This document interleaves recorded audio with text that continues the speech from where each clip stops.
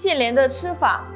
金线莲的吃法有很多种，可以和其他食材一起烹饪，也可以直接用泡水喝。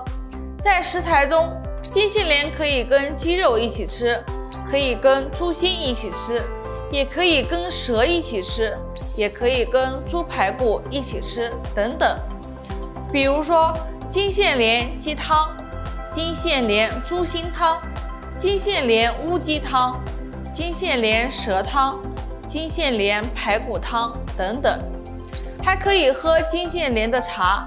现在市面上有许多金线莲茶，泡起来很方便，可用烧开后略微降温度的水来冲泡，一般可以冲泡六到八次。